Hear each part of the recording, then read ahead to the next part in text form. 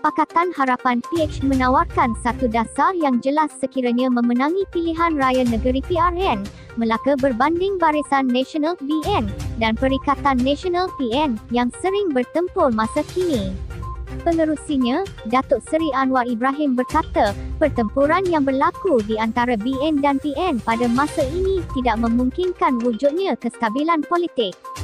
Jadi, kita menawarkan kerajaan PH yang akan dipimpin oleh sekiranya kita menang dengan satu dasar yang jelas dan stabil, katanya menerusi satu video yang dimuat naik di Facebooknya hari ini.